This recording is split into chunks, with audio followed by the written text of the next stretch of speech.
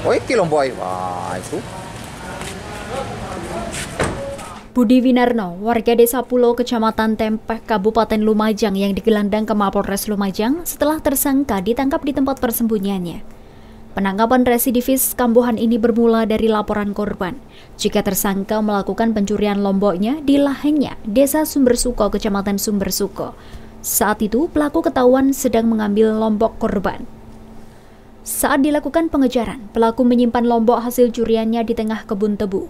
Benar saja, hasil penyidikan, tersangka diduga telah mengambil buah lombok 102 kg, meski yang diakuinya hanya belasan kilogram saja.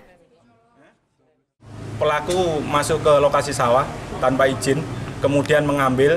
Setelah berhasil, pelaku keburu ketahuan oleh korban, kemudian disimpan di lahan tebu.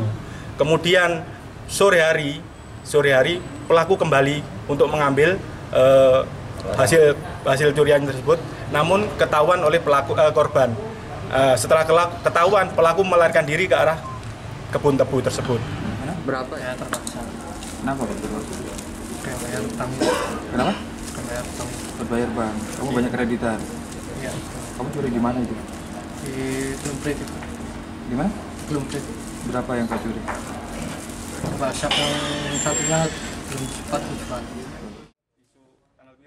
Atas perbuatannya, tersangka akan dijerat dengan pasal 363 KUHP tentang pencurian dengan ancaman hukuman di atas 8 tahun penjara. Dari Lumajang, Ahmad Arif melaporkan.